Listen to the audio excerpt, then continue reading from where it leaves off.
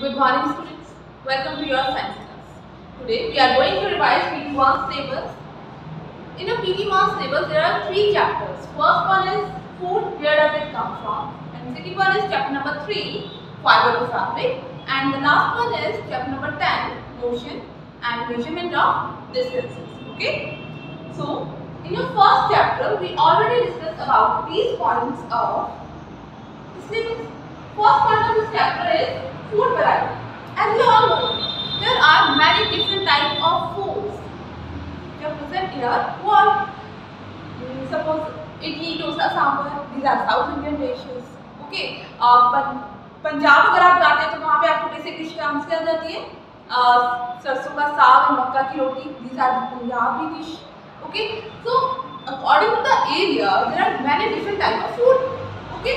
उसको बोलते हैं food variety particular food item को बनाने के लिए हमें कुछ रॉ मटेरियल की ज़रूरत पड़ती है है ना? उस रॉ मटेरियल को या क्या होता है? Ingredients the material that are required to make food is known as are known as ingredient okay now suppose you are going to make boiled rice boiled rice में आपको क्या चीज़ चाहिए? एक राइस एंड वाटर तो ये क्या होगा? दोनों चीज़ों के इंग्रेडिएंट्स रॉ मटेरियल जो कि आपको रिक्वायर्ड है for making boil rice okay now second point is food material and sources how we get these material how we get these raw material these raw material we obtain from plant और animal ठीक है तो यहाँ पे sources कौन कौन से होंगे sources for food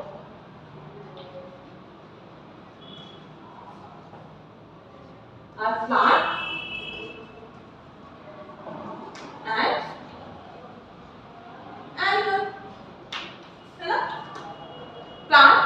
vegetables, fruits, spices, etc. All we get from plants, right?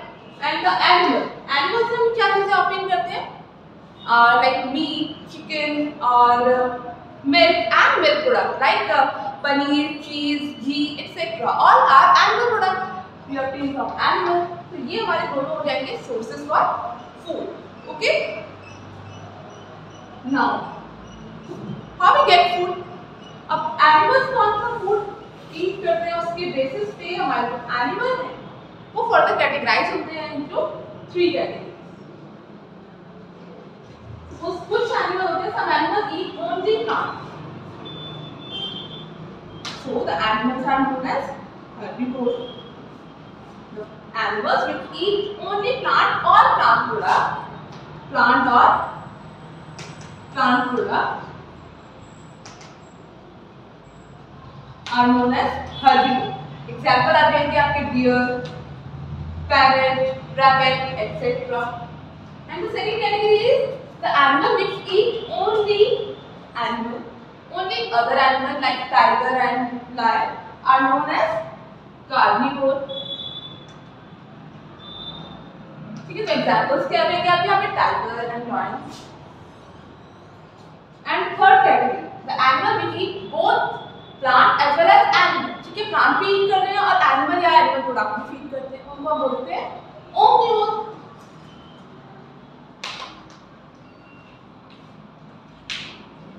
like us, human beings, we are omnivore. How?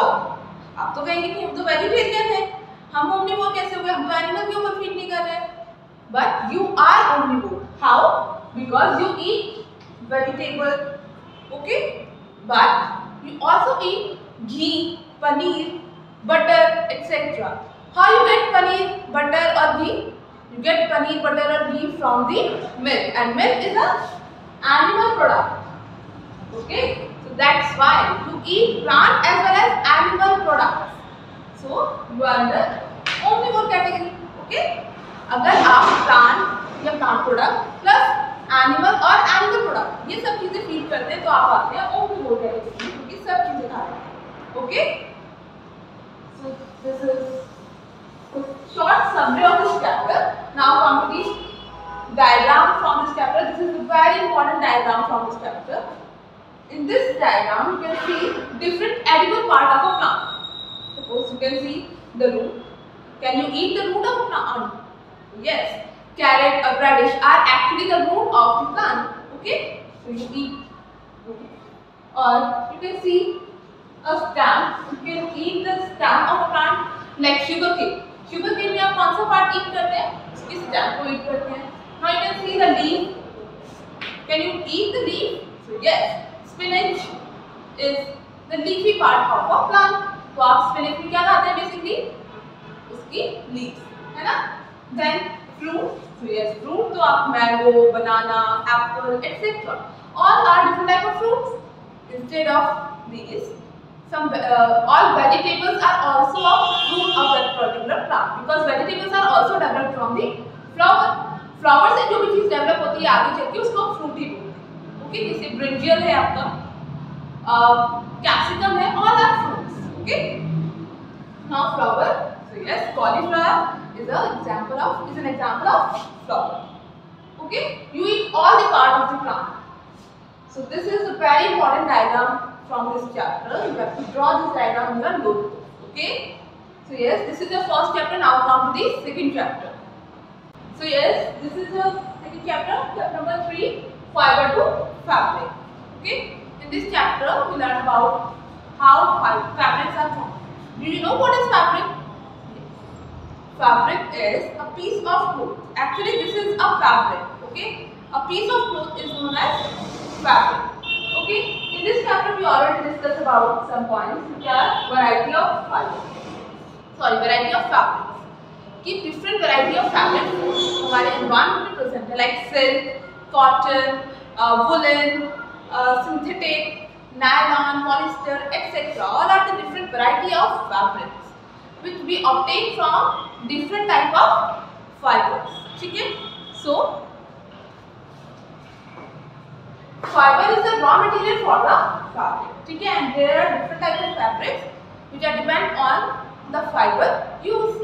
जो फाइबर यूज़ करेंगे उस टाइप की फैब्रिक होगी second point is fibre fibre क्या होता है it is a small thread okay and you can see the rope rope इस तरह से फॉर्म होती है ना उसमें बहुत सारे छोटे छोटे फाइबर्स निकलते हैं अगर आप उसको देखेंगे।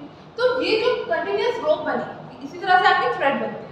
ठीक है, इस कंटिन्यूस थ्रेड को हम बोलते हैं लॉन्ग कंटिन्यूस थ्रेड को हम बोलते हैं यार्न ठीक है, और ये जो स्मॉलेस्ट यूनिट है जिससे मिलकर यार्न बना है उसको हम बोलते हैं फाइबर ठीक है जैसे यहाँ पे बताते हैं फाइबर्स जो है बेसिकली आपके टू टाइप्स के होते हैं natural fibres and synthetic fibre natural fibre they are obtain directly from the nature nature basically from the plant और एनिमल ठीक है अब नेचर में प्लांट या एनिमल किसी भी चीज़ से ले सकते हैं The fiber which are obtained from the plant are known as plant fiber and fibers which are known, uh, obtained from the animal are known as animal fiber.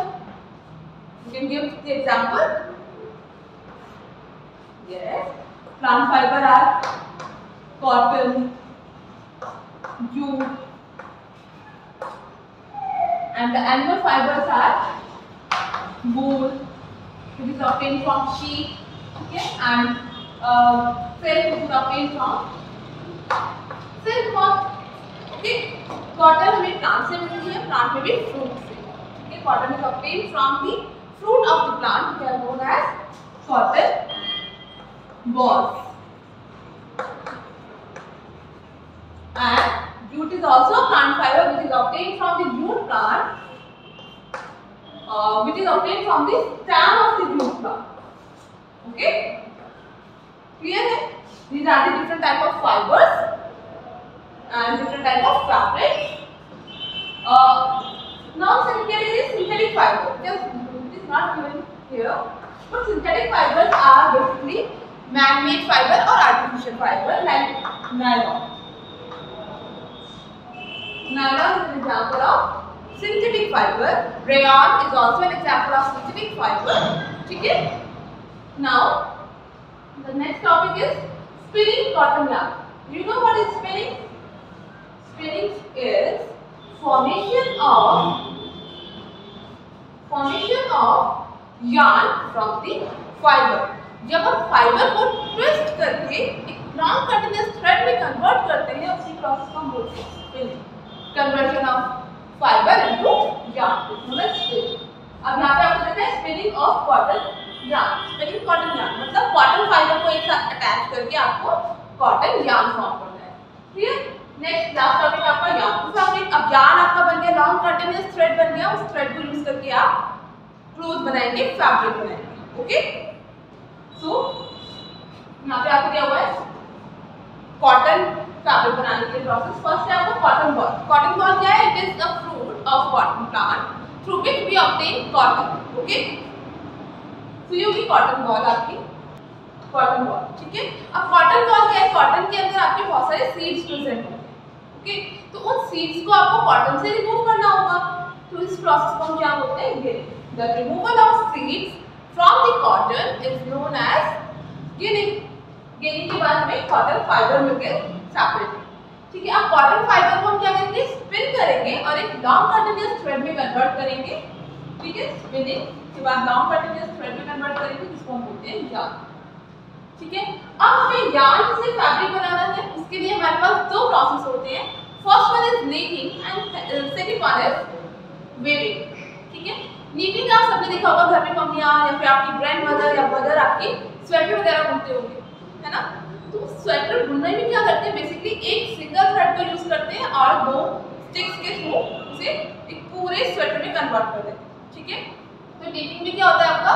When we arrange a single thread to make a fabric that is known as knitting if we use two thread simultaneously अगर हम एक साथ दो thread को use कर रहे हैं, एक दो थ्रेड्स को अरेंज कर रहे हैं to make a single fabric that is known as weaving ठीक है सपोज़ हमने एक थ्रेड इस तरह से अरेंज किया और दूसरी थ्रेड को इस तरह से अरेंज किया ठीक है so yes this is your third chapter now come to the last chapter which is chapter number 10 motion and measurement of distances okay, this is the last chapter of the syllabus chapter number 10 motion and measurement of distances what is the motion it is basically the displacement of an object from one point to another point ठीक है known as motion and what is the measurement uh, comparing some unknown quantity with known quantity. Okay, uh, suppose suppose I have to measure the length of this pen. ठीक है so this is the unknown quantity क्योंकि मुझे इसका length नहीं पता है I can measure the length of this pen with the help of the scale क्योंकि इसके ऊपर measurement लिखा हुआ है ठीक है तो मैं measure कर सकती हूँ यहाँ से मैंने लिया स्टार्टिंग से मैंने मेजर कर लिया कि कितने पॉइंट तक है। ठीक है? तो this is measurement okay comparing length और size of unknown quantity with known quantity is and topics which we cover in this chapter is wide is the desk is. This is an activity based uh, topic basically. Now some measurements कुछ आपको measurements दिखा रखे हैं। Standard units of measurement correct measurements हम correct measurement कैसे देंगे then measuring the length of curve suppose हम straight का तो ले सकते हैं बट अगर कोई कर्व सर्फिस है तो उसका मेज़रमेंट हम कैसे देंगे ठीक है? Then the type of motion okay so क्या एंशियन टाइम में अगर हम बात करें स्टार्टिंग में या फिर घर में अभी भी आपके ग्रैंड मदर या मदर वगैरह बात करते होंगे कि सपोज़ uh, कि ये टाइम कितना है? पेन का साइज़ मेजर करने के लिए क्या करेंगे? कैसे हैंड स्पैन से मेजर करेंगे। कि इतना है कि मेरा वन हैंड स्पैन नहीं है कंप्लीट ठीक है? या फिर अगर मुझे किसी टेबल को या किसी बोर्ड को बोर्ड की लेंथ को मेजर करना है तो हैंड स्पैन के थ्रू कर दिया। कि कितने हैंड स्पैन है? सपोज़ मेरे तो फाइव और टेन हैंड स्पैन आ रहे हैं। ठीक है? मैंने बोला कि टेन हैंड स्पैन है बोर्ड की लेंथ तो क्या आपकी हैंड स्पैन और मेरा हैंड स्पैन सेम होगा? No no. क्योंकि मेरा हाथ जो है, मेरा जो हैंड है, वो बिगर है than your hand okay so ये मेज़रमेंट आपका इक्वल नहीं होगा। ऐसे अगर आपको कोई कपड़ा लेना है सपोज़ टेलर ने आपको बोला कि मुझे वन मीटर फैब्रिक चाहिए। ठीक है तो वो वन मीटर फैब्रिक बोल रहा है ना? ऐसे तो नहीं बोला उसने कि मुझे टेन हैंड स्पैन फैब्रिक चाहिए। अब उसका टेन हैंड स्पैन मेरा टेन हैंड स्पैन और जो हमारा शॉपकीपर है, उसका टेन हैंड स्पैन सबका डिफरेंट होगा, है ना? तो हैंड स्पैन या फिर हम इस तरह से भी यूज़ करते थे कि हमारा एल्बो तक का पोर्शन को हमने मेजर कर लिया।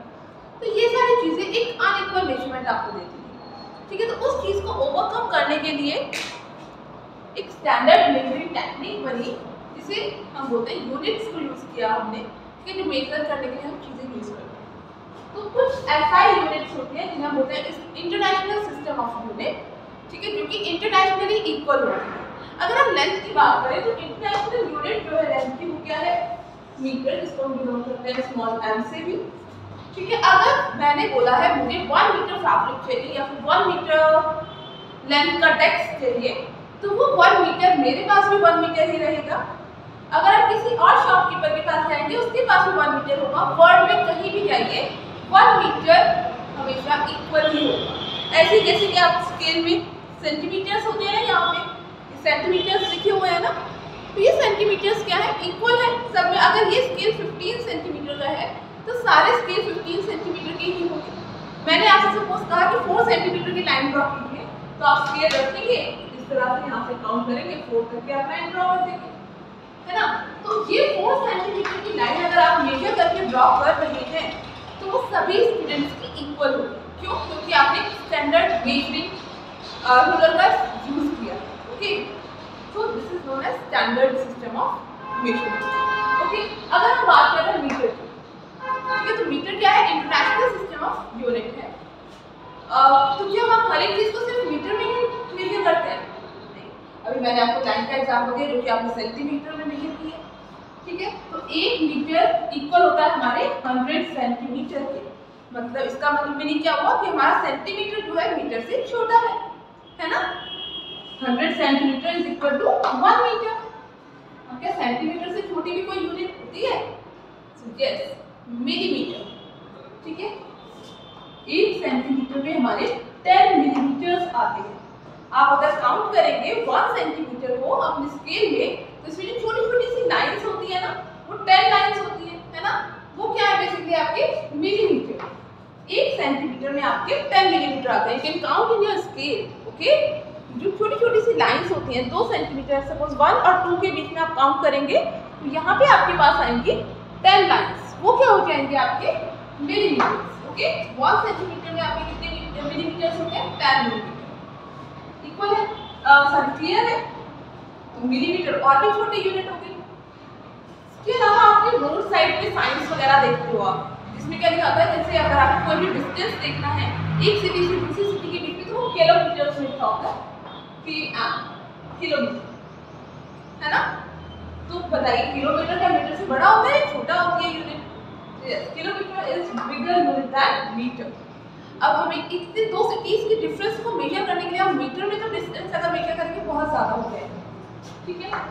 अगर हम बात करें किलोमीटर की तो एक किलोमीटर में हमारे होते हैं थाउज़ेंड मीटर्स ठीक है? तो सबसे बड़ी यूनिट क्या होगी हमारी? किलोमीटर एक किलोमीटर में हमारे कितने यूनिट कितने मीटर्स होते हैं? थाउज़ेंड मीटर अब एक मीटर में कितने सेंटीमीटर है? हंड्रेड सेंटीमीटर और वन सेंटीमीटर में हमारे ten millimetre these are the standard units okay clear है? नाउ here next, last अब मोशन आपको पता है डिस्प्लेसमेंट है from one place to another place right अब वो किस तरह से हो सकता है मोशन जो है किस तरह से हो सकता है बहुत डिफरेंट डिफरेंट टाइप से मोशन हो सकते हैं मोशन आपके बेसिकली होते हैं three type There are three type of motions. First one is rectilinear. Second one is circular. And third one is periodic.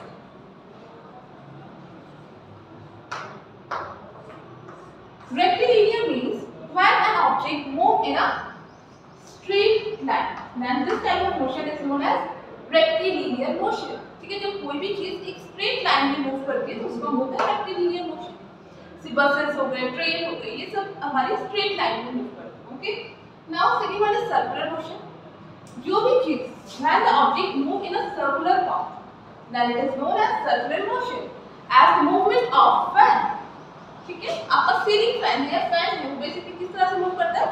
Circular motion में and the wheel of your bicycle आपकी cycle का जो wheel है, वो आपको किस तरह से मूव कर रहा है? Circular motion okay now come to third one which is periodic motion periodic motion क्या होता है? The movement repeats itself at a particular time period ठीक है? Suppose revolution and rotation of earth earth अपने axis पे भी rotate हो रही है है ना तो वो अपने एक्सिस पे जब घूमती है तो उसको कितना टाइम लगता है 24 आवर तो 24 आवर में उसका जो मूवमेंट है वो दोबारा से रिपीट होगा तो वो क्या हो गया आपका पीरियोडिक मोशन सेम विद सिलिंग मशीन सिलाई मशीन जो होती है उसमें जो मिडल होती है वो ऊपर नीचे इस तरह से मूव करती है तो वो भी एक पर्टिकुलर टाइम पीरियड के बाद ही एक पर्टिकुलर टाइम होता है जिसके बाद वो नीचे जाएगी ऊपर आएगी नीचे जाएगी ऊपर आएगी तो वो किस तरह का मोशन हो गया आपका पीरियोडिक मोशन सेम आपका जो स्विंग होता है, ठीक है? स्विंग है पेंडुलम है पेंडुलम ऑफ़ अ क्लॉक वो सब में जो मूवमेंट है, वो एक पर्टिकुलर टाइम के बाद रिपीट होता है. स्विंग में भी इस तरह से रिपीट होता है ना मोशन यहाँ पे स्विंग है, इधर गया देन उधर इस तरह से रिपीट होता है. तो ये क्या हो गया आपका? Periodic motion okay so these are the example of periodic motion. Now this is the diagram from this chapter, which is the example of circular motion. Fan का diagram. ठीक है circular motion है ना ceiling fan आपका इस तरह से move करता है clear है so yes this is the chapter okay these are the chapters now come to the exercises okay So yes, this is the mixed exercise. These are the keywords from all three chapters. Some important keywords. Okay. These are the some important questions we will discuss here. Okay. Now, first keyword is edible. Do you know what is edible? Any substance that you can eat is known as edible. Okay. Uh, is uh, plastic is edible? No. You can't eat plastic. That's why it is non-edible. Okay. So the substance which can be eaten. Jin substances को आप खा सकते हैं, eat कर सकते हैं, उनको हम बोलते हैं edibles. Okay. Nectar. Nectar क्या होता है? It is basically a flower juice जिसके थ्रू हमारा honey form होता है. Okay. It is a sweet liquid that bees collect from the flower to make honey. है ना? बीज पहले फ्लावर के पास जाके वहाँ से नेक्टर को कलेक्ट करेंगी फ्लावर जूस को कलेक्ट करके देन उसके थ्रू हमारा हनी फॉर्म होता है okay now the third one is sprouted seeds as you can as you all know the sprouted charge okay वो कैसे फॉर्म हो रही है? थ्रू हमारी दाल वगैरह होती है, उसमें व्हाइट थ्रेड लाइक स्ट्रक्चर एक ग्रो हो जाता है. लाइक दिस और जब पीस वगैरह भी कई बार, ऐसे कलर का स्ट्रक्चर तो से सीड और इसमें व्हाइट कलर का थ्रेड लाइक स्ट्रक्चर हो जाता है. तो हैं सीड जब ये थ्रेड लाइक स्ट्रक्चर सीड से ग्रो हो जाता है ओके अगर आप थोड़े मॉइस्ट क्लॉथ में कवर करके रखोगे तो एक दिन में उसमें से भी white thread like structure grow हो जाएगा so the small thread grown out from the seed the seed is known as sprouted seed. Okay. Now the fourth one is herbivores. As we just discussed here, herbivores are the animal which can eat, uh, which eat only plant or plant products. Okay. जो animal plant या plant products के ऊपर ही meet करते हैं उनको बोलते हैं herbivores like deer, parrot, etc. Now omnivores, omnivore हो जाते हैं जो प्लांट और एनिमल दोनों के ऊपर फीड करते हैं ठीक है So the animals which eat both plants as well as other animals are called omnivore. Human being is an example of omnivore. Okay. Now come to the keywords of chapter number three. First one is cotton wool. Do you know what is cotton wool? It's very soft, soft. है ना? So the soft mass of cotton is known as cotton wool. Okay. Now, second one is fabric. Fabric क्या होता है? It is raw material sorry fabric क्या है आपका? Basically a piece of cloth okay it is a piece of cloth made from yarn. क्योंकि yarn के through form होता है. बाय नीटिंग और weaving okay now the fibre it is the raw material from fabric okay so, the thread like materials used to make cloth or fabric is known as fiber okay? Now the fourth one is yarn. Yarn kya? It is a long continuous thread. It is made from fiber through spinning. Okay, so yarn is a spun thread used to make fabric. Okay, spun thread meaning the thread is obtained uh, by spinning. Okay, now the spinning. What is spinning? It is the process through which fiber is converted into yarn. Okay So the process of making yarn from fiber is known as spinning. Okay, and the thread obtained after spinning is known as spun thread or yarn. Clear? Now the uh, not sorry. Now the keywords of cap number three, uh, ten. Sorry, cap number ten. First one is motion. Motion अभी मैंने आपको बताया displacement और change in their position.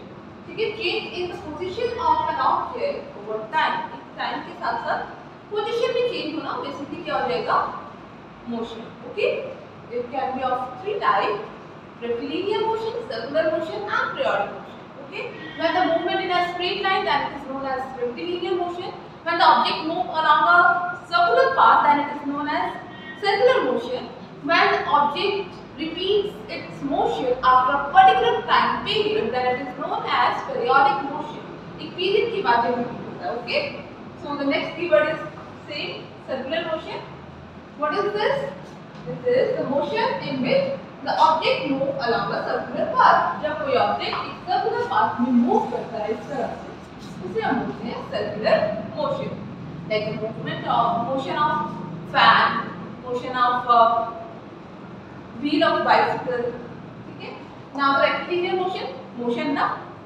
straight line a motion along a straight line is known as rectilinear motion linear से आप line याद रखें okay now the fourth one is SI unit this is the international system of unit which is universal all over the world ठीक है मैंने आपको बताया था metre is the SI unit of length okay So the international system of unit is known as SI unit. Okay. These are the keywords. Now come to the next question. Here's these are some fill-ups and true and false. First fill-up is deer eat only plant product and so is called. The animal which eat only plant product are known as herbivores. That's right. Deer eats only plant product deer सिर्फ़ plant product खाती है इसलिए उसको क्या बोलते हैं herbivore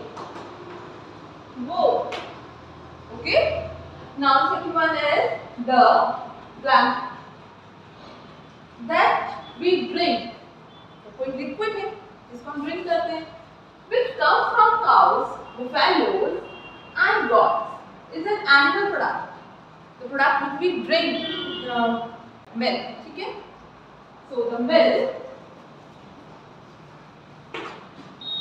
the milk that we drink, which comes from buffalo, cows, goat, is an example of is an example of animal product. Okay. Now the third one is plant fibers are obtained from plant fiber, plant or fibers. For example, कौन कौन से हमारे पास jute है cotton.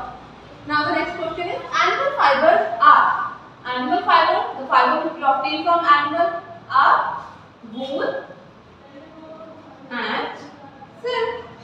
Wool is obtained from sheep and the silk is obtained from silkworm. Both are animals. Now the first one is 1 meter is equal to how many centimeters? We just read about that 1 meter is equal to 100 centimeters. है तो यहाँ पे आ जाएगा आपका 100 centimeters. Now the next question is 5 kilometer is how equal to how many meters? As we all know, 1 meter, sorry, 1 kilometer is equal to 1000 meter. Right. अब हम बात कर रहे हैं 5 किलोमीटर की तो हम यहाँ पे भी 5 से मल्टीप्लाई कर देंगे और इधर भी 5 से मल्टीप्लाई करेंगे है ना तो क्या हो जाएगा आपका 5 kilometre equal to 5000 meter. Okay. Similarly, अगर मैं आपसे पूछती हूँ 7 किलोमीटर तो आप लोग 7 से मल्टीप्लाई कर देंगे है ना So the 5 kilometer is equal to 5000 meters. Okay. Now the last fill up is motion of a needle of sewing machine is which type of motion is this? This is periodic motion because the needle of sewing machine repeats its motion after a particular time.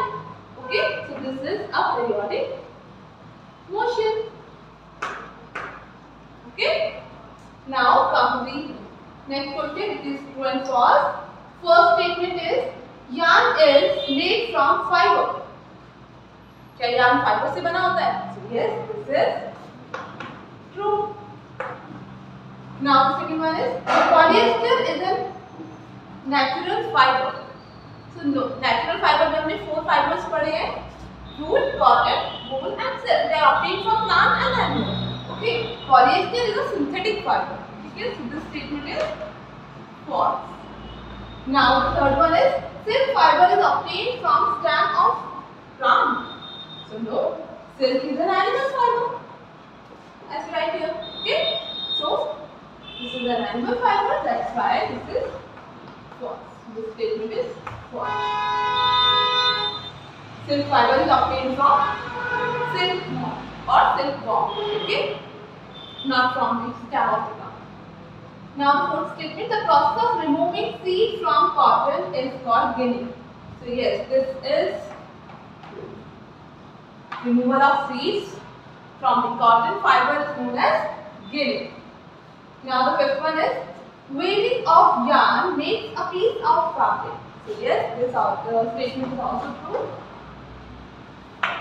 Okay.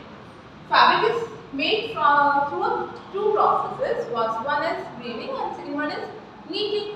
ठीक है knitting में क्या करते हैं only single thread को ही single yarn को इस तरह से अरेंज करते हैं कि हमारा एक कंटिन्यूस फैब्रिक फॉर्म हो जाता है एंड वीविंग में हम क्या करते हैं we arranging two yarns together to make a single fabric okay now the sixth one is jute is the outer covering of coconut no the statement is also false Okay. Now come to the next question. These are the matching. Match the column A with column B. Okay. First one is milk, curd and paneer. These are relative to each other animal? No. Eat plants and plant products? No. Milk, paneer and curd किस चीज़ को eat थोड़ी ना कर रहे हैं उसको तो हम eat करते हैं. Are vegetables? क्या पनीर vegetable है? Milk vegetable है? No. So all are are all animal products. So yes, this is the right statement. आप matching always face to face ही करेंगे okay now one is spinach and cauliflower these are vegetables now lion and tigers lion and tigers eat plant and plant product no these are the carnivore, carnivore animals okay carnivores are the animals that eat only other animals. So lion, tiger eat other animals. Now the fourth one is herbivore. So herbivore are the animals which eat on plant and plant products. Okay, feed on eat plant or plant products. Okay, these are the matchings. Now come to the question answer. First question is, do you find that all living beings need the same kind of food? कि जितने भी living organism है सबको same kind of food चाहिए तो no अगर ऐसा होता if it is possible then how categorise the animal into three categories herbivores omnivores और कार्निवोर्स है ना? So all living beings do not need the same kind of food all need different kind of food okay like planet cybers are carnivores they can not eat on plant products right? Similarly with deer, deer is an herbivore, uh, deer is a herbivore animal because it uh, deer eat only on plant products. Okay. Now come to the question number second. Name five plants and their parts that we eat. You can write any plants, any five plants or their part that you can eat. So the answer is first one is wheat. Wheat में कौन सा part eat करते हैं? Seeds. Now brinjal. Brinjal में आप कौन सा part feed करते हो? Brinjal is a vegetable. मैंने आपको बताया fruit and vegetable all are obtained from a flower. So these all are categorized as a fruit. Okay. So brinjal is also a fruit. Now potato. Potato is underground stem. ठीक है. Below the soil present होता है, but it is a stem. Okay. Potato का use करते हैं. Then tomato. Tomato is also a fruit. Spinach में हम कौन सा पार्ट ईट करते हैं? Please you can write carrot जिसका हम कौन सा पार्ट ईट करते हैं और रेडिश जिसमें हम फ्रूट को ईट करते हैं right you can write any plant और their product sorry any plant or their parts that you can eat. Okay. These are the five examples. Okay. Now the question number third. Classify the following fiber as natural and synthetic. This question is from chapter number three, fiber to fabric. ठीक है? अब आपको यहाँ पे जो fibres sorry fibres दे रखे हैं, उनको आपको कैटेगराइज करना है नेचुरल फाइबर और synthetic fibre first one is nylon nylon is natural और synthetic yes synthetic fibre now second one is wool so yes wool is a natural fibre because it is obtain from animal what sheep और camel और या llama etcetera Cotton. Cotton is also a natural fiber. It is obtained from cotton ball. It is the fruit of cotton ball. Now the next one is silk. What is silk? Silk is also a natural fiber which is obtained from silkworm. Then polyester, it is a synthetic fiber.